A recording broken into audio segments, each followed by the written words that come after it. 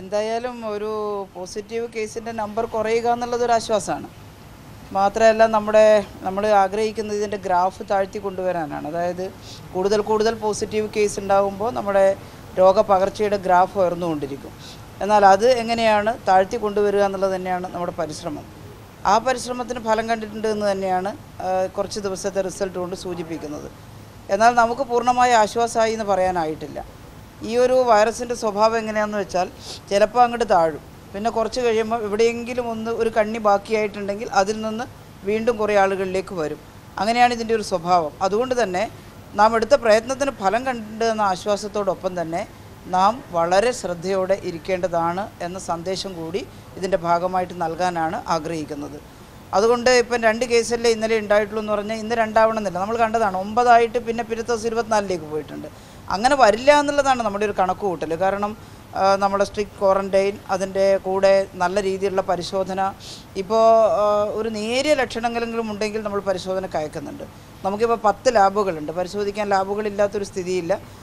അത്രയും പരിശോധന അവിടെ നടക്കുന്നുണ്ട്. ടെസ്റ്റ് കിറ്റിന്റെ ദൗർലഭ്യമൊക്കെ ഉണ്ടായിട്ടും നമ്മൾ പരിശോധന മുടങ്ങിപ്പോയിട്ടില്ല. നമ്മൾ അത്രയും കിറ്റ് എങ്ങനെയെങ്കിലും സംഘടിപ്പിച്ച് കൊണ്ടുവന്നിട്ടുണ്ട്. കഴിയാവുന്നത്ര ഇടപെട്ടുകൊണ്ട് കൊണ്ടുവന്നിട്ടുണ്ട്. അതുകൊണ്ട് നമ്മുടെ രണ്ട് മൂന്ന് പ്രവർത്തനമാണ്. ഒന്ന് നല്ല രീതിയിലുള്ള കോണ്ടാക്ട് ട്രേസിങ് അത് കഴിവിന്റെ പരമാവധി ഉപയോഗപ്പെടുത്തിക്കൊണ്ട് ഓരോ പേഷ്യന്റിന്റെയും കോണ്ടാക്റ്റിനെ കണ്ടുപിടിക്കാൻ നമ്മൾ നടത്തിയിട്ടുള്ള പരിശ്രമം. അത് ആരോഗ്യവകുപ്പിലെ പ്രവർത്തകർ പോലീസിന്റെ ഇന്റലിജൻസ് വിഭാഗം എല്ലാം ചേർന്നുകൊണ്ട് നമ്മളൊരു എങ്കിലും ഇത്രയും കോണ്ടാക്ട് ട്രേസ് നടത്തുമ്പോഴും ചിലപ്പോൾ ഒരു കണ്ണി എവിടെയെങ്കിലും വിട്ടുപോകാം അത് നമുക്ക് നമ്മളാൽ നിയന്ത്രിക്കാൻ കഴിയുന്ന ഒരു കാര്യമായിട്ട് ചിലപ്പോൾ വരില്ല. അപ്പോൾ അതിൽ നിന്ന് കുറച്ച് കേസ് ഉണ്ടായേക്കുമോ? ആ ഭയം നമ്മുടെ മനസ്സിൽ ഈ വൈറസിനെ സംബന്ധിച്ചിടത്തോളം ഉണ്ട്. പക്ഷേ നമ്മുടെ കോണ്ടാക്ട് ട്രേസിങ് വളരെ ഫലപ്രദമായിരുന്നു. അതിന്റെ ഭാഗമായിട്ട് നമുക്ക് ഇവരെയെല്ലാം കിട്ടി. പിന്നെ വളരെ ഫലപ്രദമായിട്ടുള്ള ഒരു കാര്യം നമ്മുടെ ഐസൊലേഷൻ സിസ്റ്റമാണ് ഈ പോസിറ്റീവ് കേസ് ആയിട്ടുള്ള ആളുകളെ വളരെ ഭംഗിയായിട്ട് ഹോസ്പിറ്റലിൽ ട്രീറ്റ്മെന്റ് കൊടുക്കാൻ സാധിക്കുന്നു എന്നുള്ളതാണ്. അതിന് കാരണമാവുന്നത് നമ്മൾ മുൻകൂട്ടി പ്ലാൻ ചെയ്തു. അതായത് പത്ത് കേസാണ് വരുന്നതെങ്കിൽ നമ്മൾ ആയിരം കേസിന് വേണ്ടിയാണ് പ്ലാൻ ചെയ്യുന്നത്. അത്രയും ബെഡ് സ്ട്രെങ്ത് നമ്മൾ ഒരുക്കി വെക്കുന്നു. അതെല്ലാം ഇതിനുവേണ്ടി റിസർവ് ചെയ്ത് വെക്കുകയാണ്. ബാക്കി ചികിത്സകളെല്ലാം മറ്റ് ഹോസ്പിറ്റലുകളിലേക്ക് ഡൈവേർട്ട് ചെയ്തുകൊണ്ട് കോവിഡ് സ്പെഷ്യൽ ഹോസ്പിറ്റൽ എന്ന നിലയിൽ നമ്മൾ ഓരോ സ്ഥലത്തും ഉണ്ടാക്കി വെച്ചിട്ടുണ്ട്. കാസർഗോഡ് തന്നെ ആരും പ്രതീക്ഷിച്ചതല്ല. അവിടെ ഒരു മെഡിക്കൽ കോളേജ് പോലും പൂർണമായിട്ടില്ല. അതിന്റെ ഇടയിൽ ഇത്രയും കേസ് വന്നാൽ എന്ത് ചെയ്യും എന്നെല്ലാവരും അത്ഭുതപ്പെട്ടതാണ്. പക്ഷേ നമ്മളതിന് ഉത്തരം കണ്ടെത്തി അവിടുത്തെ ജനറൽ ഹോസ്പിറ്റലിനെയും ഡിസ്ട്രിക്ട് ഹോസ്പിറ്റലിനെയും പൂർണമായിട്ട് നമ്മൾ ഒരുക്കി. കൂടാതെ മെഡിക്കൽ കോളേജ് ബിൽഡിംഗ് പൂർത്തിയായ ബിൽഡിങ്ങിന്. അത് അക്കാദമിക് ബ്ലോക്കായിരുന്നു. പക്ഷേ വളരെ പെട്ടെന്ന് നമ്മൾ അതിനെ ഒരു മെഡിക്കൽ കോളേജിന്റെ ഒരു ഒരു ഒരു ഐ പി ഹോസ്പിറ്റലായിട്ട് കോവിഡിനുള്ള ഐ പി ഹോസ്പിറ്റലായിട്ട് നമ്മൾ പെട്ടെന്ന് കൺവേർട്ട് ചെയ്തു. കാസർഗോഡ് മാത്രം ഹ്യൂമൻ റിസോഴ്സ് മനുഷ്യ വിഭവശേഷി കുറവാണെന്ന് കണ്ടപ്പോൾ വളരെ പെട്ടെന്ന് തന്നെ തിരുവനന്തപുരത്തു നിന്ന് ഒരു സംഘത്തെ എടുത്ത് നമ്മൾ അവിടെ അയച്ചു. ഇനി ആവശ്യമാണെങ്കിൽ മറ്റ് മെഡിക്കൽ കോളേജുകളിലെ ഒരുപാട് ഡോക്ടർമാരും പറയുന്നുണ്ട് ഞങ്ങൾ വേണമെങ്കിൽ കുറച്ച് ദിവസം പോയിട്ട് അവിടെ സേവനം നടത്താം. പക്ഷേ ഇന്നലെ കണ്ടിട്ടുള്ള ആശ്വാസകരമായിട്ടുള്ള ഒരു കാര്യം കാസർഗോഡ് നിന്ന് ഒരു പോസിറ്റീവ് കേസും ഇന്നലെ വന്നില്ല എന്നുള്ളതാണ്. മാത്രമല്ല ഇരുപത്തി എട്ട് പേര് ഇന്നലെ കാസർഗോഡ് പോസിറ്റീവായിരുന്നവർ നെഗറ്റീവായിട്ട് മാറുകയും ചെയ്തു. അതെല്ലാം ഒരു നല്ല ലക്ഷണമാണ്. പക്ഷെ നമ്മൾ കാണേണ്ടത് നമ്മൾ കേരളത്തിൽ മാത്രം ഇതെല്ലാം ഇങ്ങനെ നിയന്ത്രിച്ചാൽ മാത്രം മതിയാവില്ല. ഇത് ഒരു പാൻഡമിക്കാണ് മഹാമാരിയാണ്. തൊട്ടടുത്ത സംസ്ഥാനങ്ങളിലെല്ലാം ഇത് ഉയരുന്നതായിട്ടാണ് കാണുന്നത്. അത് നമ്മളെ വല്ലാതെ ആശങ്കാകുലരാക്കി മാറ്റുന്നുണ്ട്. അവിടെയെല്ലാം നിയന്ത്രിക്കാൻ സാധിക്കണം. അവിടെയെല്ലാം കുറഞ്ഞു വരണമെന്നാണ് നമ്മുടെ ആഗ്രഹം. അപ്പോൾ ഇന്ത്യ നന്നായിട്ട് പരിശ്രമിക്കുന്നുണ്ട്. നമ്മുടെ രാജ്യത്തെ ഗവൺമെന്റും എല്ലാവരും നന്നായി പരിശ്രമിക്കുന്നുണ്ട്. പക്ഷേ ഇതൊരു പ്രത്യേകതരം വല്ലാതെ പരക്കുന്ന ഒരു വൈറസ് ആയതുകൊണ്ടാണ് ഇങ്ങനെ ഒരു അവസ്ഥ വരുന്നത്. അല്ലെങ്കിൽ ഒരിടത്ത് നമുക്കതിനെ കണ്ടെയ്ൻ ചെയ്ത് ഒതുക്കി നിർത്താൻ സാധിക്കുമായിരുന്നു. അപ്പോൾ ഏതായാലും നമ്മുടെ കാര്യത്തിൽ നമ്മുടെ ഭഗീരഥ പ്രയത്നത്തിന് കുറേ ദിവസമായിട്ട് എല്ലാവരും ചേർന്നുകൊണ്ടുള്ള ഒരു വർക്കാണല്ലോ നമ്മൾ നടത്തിയത്. അതിൽ മുഖ്യമന്ത്രിയുടെ തന്നെ നേതൃത്വത്തിൽ എല്ലാ വകുപ്പുകളും ചേർന്ന് നമ്മളൊരു വലിയ പ്രവർത്തനമാണ് കേരളത്തിൽ നടത്തിക്കൊണ്ടിരിക്കുന്നത്. അതിന് തീരെ ഫലമില്ല എന്ന് പറയാൻ കഴിയില്ല. നമുക്ക് ആശ്വാസം ഉണ്ട് ഇന്നലത്തെ റിസൾട്ടിൽ. ഇന്നിപ്പോൾ റിസൾട്ട് വന്നാലേ പറയാൻ പറ്റൂ. എത്ര പോസിറ്റീവ് ഉണ്ട് എത്ര നെഗറ്റീവ് ആവുന്നു. എന്തായാലും കുറേ കേസ് ഇന്ന് നെഗറ്റീവ് ആകും. കാരണം ഹോസ്പിറ്റലിൽ കഴിയുന്ന പലരും നല്ല സുഖം പ്രാപിച്ച് വന്നവരുണ്ട്. എത്ര പോസിറ്റീവ് ആവും എന്നുള്ളത് ഈ റിസൾട്ട് വന്നാലേ നമുക്ക് പറയാൻ സാധിക്കുള്ളൂ. അത് ഇപ്പം നമ്മുടെ കേന്ദ്ര ഗവൺമെന്റിൽ നിന്ന് നമുക്ക് കിട്ടുന്ന നിർദ്ദേശം അനുസരിച്ചായിരിക്കും. കാരണം ഇതൊരു സ്റ്റേറ്റ് മാത്രം എടുക്കേണ്ട തീരുമാനമല്ല. കഴിഞ്ഞ ദിവസം ബഹുമാനപ്പെട്ട നമ്മുടെ പ്രധാനമന്ത്രിയുടെ വീഡിയോ കോൺഫറൻസ് ഉണ്ടായിരുന്നു. മുഖ്യമന്ത്രി പങ്കെടുക്കുന്ന വീഡിയോ കോൺഫറൻസ് ഉണ്ടായിരുന്നു. അതിൽ കുറേ അഭിപ്രായങ്ങൾ ചോദിച്ചു. എല്ലാ സംസ്ഥാനങ്ങളും അഭിപ്രായങ്ങൾ പറഞ്ഞു. അപ്പോൾ ഒരു കാര്യം ബഹുമാനപ്പെട്ട പ്രധാനമന്ത്രി പറഞ്ഞത് ജീവൻ നിലനിർത്തുന്നതോടൊപ്പം തന്നെ മറ്റ് ജീവിതമാർഗങ്ങളും നമുക്ക് സംരക്ഷിച്ച് നിർത്തണം എന്നുള്ളതാണ്. അത് ശരിയുമാണ്. അപ്പോൾ ആ രീതിയിൽ എന്തൊക്കെയാണ് തീരുമാനിക്കാൻ കഴിയുക എന്നുള്ളതൊരു ചർച്ചയുടെ അടിസ്ഥാനത്തിൽ നമുക്ക് പറയാൻ സാധിക്കുകയുള്ളൂ.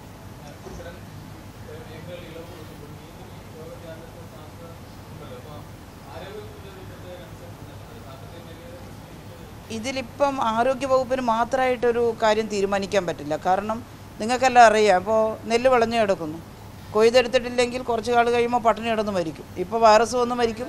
അപ്പോൾ പട്ടിണി കിടന്ന് മരിക്കും. അപ്പോൾ ഇത് ബാലൻസ്ഡ് ആയിട്ടേ നമുക്ക് കൊണ്ടുപോകാൻ പറ്റുള്ളൂ. ആഹാര സാധനങ്ങൾ സ്റ്റോർ ചെയ്യണം ഒരു രാജ്യത്തെ സംബന്ധിച്ച്. അതുപോലെ ജനങ്ങളുടെ ഒരു മൂവ്മെന്റ് പൂർണമായിട്ടും അവസാനിച്ചു പോകുമ്പോൾ ഉണ്ടാകുന്ന സാമ്പത്തിക പ്രശ്നങ്ങളും മറ്റു പ്രശ്നങ്ങളെല്ലാം ഉണ്ട്. എന്നാൽ നമുക്ക് ഈ വൈറസ് വ്യാപിക്കാൻ ഇടയാകുന്ന വിധം ജനങ്ങളുടെ ഈ നീക്കം ഉണ്ടാക്കാനും പറ്റില്ല. അപ്പോൾ ആ രീതിയിൽ വളരെ സുചിന്തിതമായി നമ്മൾ ഒരു അത്തരത്തിലുള്ള കൂട്ടായിട്ടുള്ള ഒരു തീരുമാനം എടുത്തുകൊണ്ട് മാത്രമേ അതിലെന്തെങ്കിലും പറയാൻ പറ്റുള്ളൂ. അതിന്റെ കിറ്റ് എത്തേണ്ട ഒരു താമസമേ ഉള്ളൂ. അതിന്റെ പ്രോട്ടോക്കോളും എല്ലാം ശരിയായി.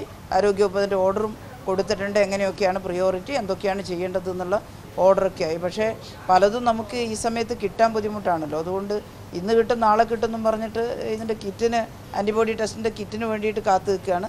അത് കിട്ടിയാൽ നമ്മൾ അത് ഒരുമിച്ച് കിട്ടുകയില്ല. എത്രയാണോ കിട്ടുന്നത് അത് വെച്ച് പ്രയോറിറ്റി അനുസരിച്ച് ചെയ്യാനാണ് തീരുമാനിച്ചിരിക്കുന്നത്.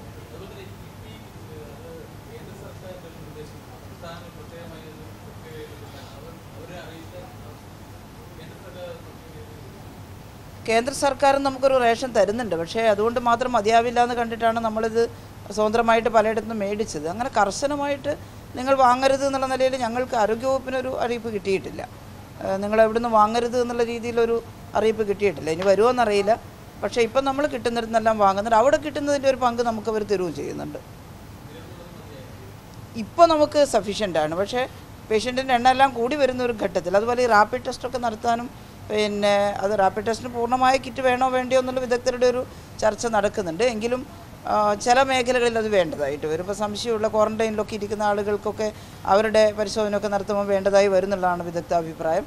അപ്പോൾ നമുക്ക് കുറേയും കൂടി കിറ്റ് വേണ്ടി വരും. ഇപ്പോൾ നമുക്ക് വളരെ പെട്ടെന്ന് തീർന്നു പോകുന്ന വിധത്തിലല്ല സഫീഷ്യന്റ് ആയിട്ടുണ്ട് എന്നാൽ അതൊരു രണ്ടോ മൂന്നോ ആഴ്ചയിൽ അപ്പുറത്തേക്ക് പോകുമ്പം നമ്മൾ പിന്നെയും വാങ്ങിക്കൊണ്ടിരുന്നില്ലെങ്കിൽ അത് തീർന്നു പോകും.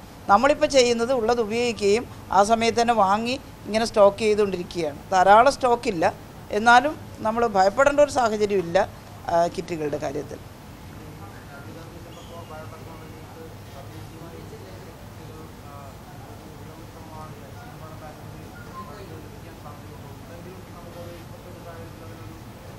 തീർച്ചയായിട്ടും. അവർ അത്ര ഒരു കൂടുതൽ കൊടുക്കാൻ മാത്രം ഉൽപ്പാദിപ്പിച്ച് കഴിഞ്ഞിട്ടില്ല. അങ്ങനെ വളരെ സന്തോഷമാണത് നമുക്ക് ഏറ്റവും നല്ലൊരു റിസർച്ചൊക്കെ നടക്കുന്ന സ്ഥാപനമാണ് രാജീവ് ഗാന്ധി സെന്ററും ശ്രീചിത്രയും അപ്പോൾ അവരുടെ റിസർച്ചിനെയെല്ലാം നമ്മൾ പ്രോത്സാഹിപ്പിക്കുന്നുണ്ട്. കേന്ദ്ര ഗവൺമെന്റ് തന്നെ നമുക്ക് ഐ സി എം ആർ തന്നെ മൂന്ന് നാല് റിസർച്ച് നമുക്ക് നടത്താനുള്ള അനുവാദവും തന്നിട്ടുണ്ട്. അത് റിസർച്ച് ആക്ടിവിറ്റീസും ഇതിന്റെ കൂടെ നമ്മൾ നടത്തുന്നുണ്ട്. ആ കൂട്ടത്തിൽ ഇതുപോലെ നമുക്ക് തന്നെ പ്രൊഡ്യൂസ് ചെയ്യാൻ കഴിയുമോ? അത് നമ്മൾ പരിശ്രമിക്കുന്നുണ്ട്. പക്ഷേ അതൊരു വലിയ അളവിൽ വന്നു തുടങ്ങിയിട്ടൊന്നുമില്ല. അതൊരു പരീക്ഷണം നമ്മൾ നടത്തുന്ന അത്ര ഒന്ന് രണ്ട് പേര് ലേശം മറ്റ് രോഗങ്ങൾ ഡയബറ്റിക് അതുപോലെ തന്നെ പിന്നെ ന്യൂമോണിയയുടെ ലക്ഷണങ്ങൾ ഇതൊക്കെ ഉള്ളവരാണ്. ഇന്നലെ അന്വേഷിക്കുന്ന സമയത്ത് വളരെ അത്യാസന്ന നില എന്ന് പറയാൻ കഴിയില്ലെങ്കിലും കുറച്ച് ഗൗരവതരമായിട്ടുള്ള ആരോഗ്യ പ്രശ്നങ്ങൾ ഉള്ളവരുണ്ട്. എന്നാലും അവരെ രക്ഷിക്കാൻ കഴിയുമെന്ന പ്രതീക്ഷയിലാണ് നമ്മളുള്ളത് ഇതിലിപ്പോ നാളെ വിഷുവാണ് ഇന്നിപ്പോ കോഴിക്കോട് പോലുള്ള ചില കേന്ദ്രങ്ങളിലൊക്കെ മാർക്കറ്റുകളിലേക്ക് ജനം കൂടുതലായി എത്തുന്ന ഒരു കാഴ്ചയുണ്ടായിരുന്നു ആ നമ്മൾ അത് ഒന്ന് നിയന്ത്രിക്കണ്ടേ ഇന്നലെ തന്നെ ബഹുമാനപ്പെട്ട മുഖ്യമന്ത്രി അത് സൂചിപ്പിച്ചിട്ടുണ്ടായിരുന്നു. വിഷുവിന്റെ സമയത്ത് തീരെ വരണ്ടെന്ന് പറയാൻ കഴിയും സാധനങ്ങളൊക്കെ മേടിക്കാൻ വരുന്നവർ സോഷ്യൽ ഡിസ്റ്റൻസ് പൂർണമായും കീപ്പ് ചെയ്തുകൊണ്ട് മാത്രമേ സാമൂഹ്യ അകലം പാലിച്ചുകൊണ്ട് മാത്രമേ വരാൻ പാടുള്ളൂ. അല്ലാത്തത് നിയന്ത്രിക്കും ശക്തമായിട്ട്. കാരണം നമ്മൾ പിന്നെ അങ്ങനെ ഒരു വലിയ ഇളവ് കൊടുത്തു കഴിഞ്ഞിട്ടില്ല. അതുകൊണ്ട് വളരെ പരിമിതമായ ആഘോഷങ്ങളും എല്ലാം വളരെ പരിമിതമായ രീതിയിൽ മാത്രമേ നടത്താവൂ എന്ന് പറഞ്ഞു. നമുക്ക് എല്ലാ ആഘോഷങ്ങളെക്കാളും വലുത് നമ്മുടെ ജീവൻ രക്ഷിക്കുക എന്നുള്ളതാണ് മനുഷ്യന്റെ ജീവൻ ഉണ്ടെങ്കിലേ പിന്നെ എല്ലാ ആഘോഷങ്ങളും ആവശ്യമായിട്ട് വരുന്നുള്ളൂ. എന്നാൽ പൂർണമായും മനുഷ്യന്റെ മനസ്സ് മരവിപ്പിക്കുന്ന രീതിയിൽ നിങ്ങളൊന്നും ആഘോഷിക്കരുത് എന്നെല്ലാം പറയുന്നതിന് പകരം അവനവൻ നിയന്ത്രിക്കുക. വളരെ പരിമിതമായിട്ട് മാത്രം വിഷുവിന്റെ ആഘോഷങ്ങളും മറ്റ് ഈസ്റ്ററിന്റെ ആഘോഷങ്ങളും ഒക്കെ നടത്തുക എന്നാണ് പറഞ്ഞത്. അതെല്ലാവരും അനുസരിക്കണം. കൂട്ടത്തോടെ തെരുവിലേക്കൊന്നും വരാൻ പാടില്ല. വന്നാൽ അത് തീർച്ചയായിട്ടും പോലീസ് ആ കാര്യങ്ങൾ നിയന്ത്രിക്കും. അതിന് വിധേയമായിട്ട് മാത്രമേ പെരുമാറാൻ പറ്റുള്ളൂ.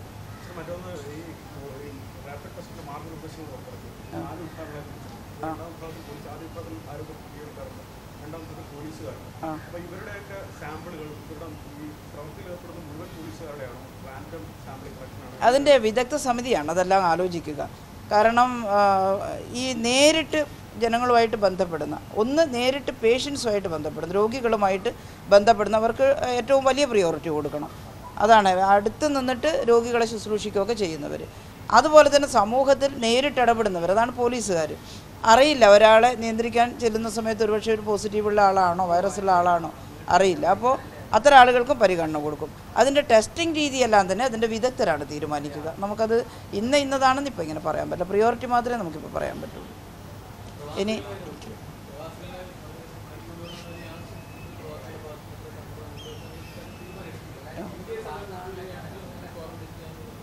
ഇത് കേന്ദ്ര ഗവൺമെന്റ് ആണ് മൊത്തം ഒരു തീരുമാനം എടുക്കുന്നത്. പ്രവാസികൾ ഇങ്ങോട്ട് കൊണ്ടുവരണോ അല്ലെങ്കിൽ വരാറായോ എന്നുള്ള കാര്യത്തിലൊക്കെ എടുക്കുന്നത്. അതിന് നമ്മൾ അനുസരിച്ച് പ്രവർത്തിക്കുക എന്നുള്ളേ ഉള്ളൂ.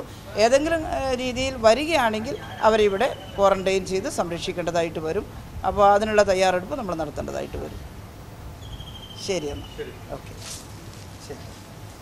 ആരോഗ്യമന്ത്രി കെ കെ ശൈലജ ടീച്ചർ മാധ്യമങ്ങളെ കാണുകയായിരുന്നു. സംസ്ഥാനത്ത് പുതിയ കൊറോണ കേസുകളുടെ എണ്ണം കുറയുന്നുണ്ടെങ്കിലും പൂർണമായും ആശ്വാസകരമെന്ന് പറയാൻ സാധിക്കില്ല. ജാഗ്രത ഇനിയും തുടരണമെന്ന് തന്നെയാണ് മന്ത്രി വ്യക്തമാക്കിയത്. ഒപ്പം കോൺടാക്ട് ട്രേസിംഗ് അടക്കമുള്ള കാര്യങ്ങൾ ഫലപ്രദമായിരുന്നുവെന്നും മന്ത്രി വ്യക്തമാക്കുകയും ചെയ്തു. കാസർഗോഡ് നിന്ന് ഒരു പോസിറ്റീവ് കേസ് പോലും ഉണ്ടായിട്ടില്ല എന്നത് ആശ്വാസകരമാണെന്നും മന്ത്രി കൂട്ടിച്ചേർത്തു. ഒപ്പം കോവിഡ് രോഗികൾ ഇനി ഒന്നോ രണ്ടോ രോഗികൾ മാത്രം ഗുരുതരാവസ്ഥയിൽ കഴിയുന്നുണ്ടെന്നും അവരെ രക്ഷപ്പെടുത്താനുള്ള ശ്രമം ഊർജിതമായി നടക്കുകയാണ് എന്നും മന്ത്രി വ്യക്തമാക്കി.